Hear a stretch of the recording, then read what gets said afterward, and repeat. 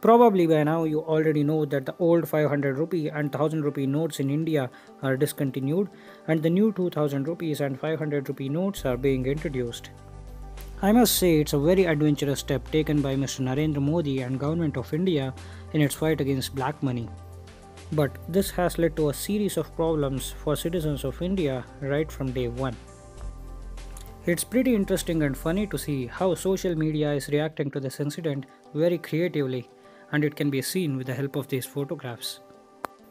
But right from day 1, that is 9th of November 2016, the day when it all started, a common citizen of India is going through a lot of hardships. Because all banks are closed for public transaction on the first day and there's an ATM withdrawal limit of 10,000 per day or 20,000 per week.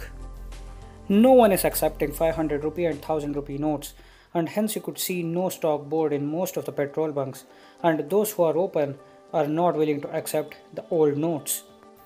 So your hard-earned money has become nothing but a piece of paper and virtually there are only 100 rupee currency notes in India for the time being. Even hotels, bakeries and coffee shops are refusing to accept the old notes which is causing a lot of problem to a common man.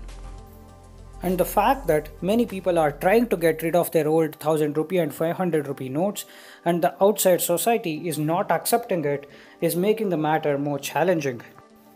Although Government of India has given a deadline of December 31st to exchange your old notes, you may run out of currency well before that. It's needless to say it's causing a lot of trouble to the businessmen as well. They are in a dilemma whether to accept the 500 rupee and 1000 rupee notes that people are bringing to them or to reject them. To add up to this, the US election results has caused the share markets to collapse and has led to a considerable increase in gold and silver rates. So, if you are in India, you are going through a hard time. But does this mean that this brave step taken by the government of India is really bad for common people? To be honest, I don't think so because what could be good for you and me as individuals may not be good for entire nation as a whole. Even though we may face some initial hardships, all these are for the betterment of the nation.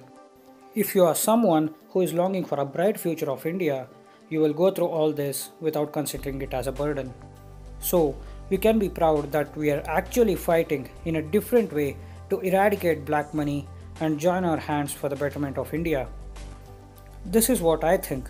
But what do you think? Let me know your perspective by commenting below. Hit thumbs up if you liked it, subscribe if you loved it. Do not forget to share the video.